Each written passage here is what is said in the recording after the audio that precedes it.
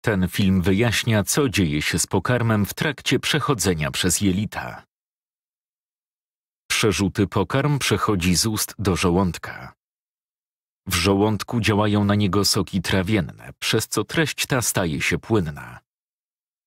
Następnie trafia ona do jelita cienkiego, gdzie wchłonięte zostają składniki odżywcze. W jelicie grubym wchłaniana jest woda, dzięki czemu treść staje się bardziej stała i łatwiejsza do wydalenia.